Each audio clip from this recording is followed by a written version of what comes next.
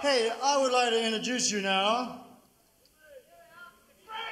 I'd like to introduce you to the three guest musicians that we have up on stage here.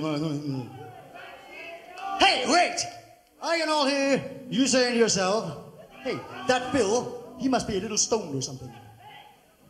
Because I only see two other guest musicians on the stage of my own. Yes, you've forgotten about Roland, the bisexual drum machine.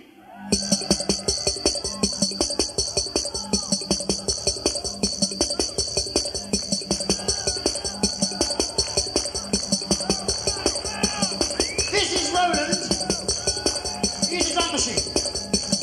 Very economical to run. Bisexual because he doesn't mind who he plays with. Ha! Talk about funny. Ha ha ha! Watch while I send Roland to sleep.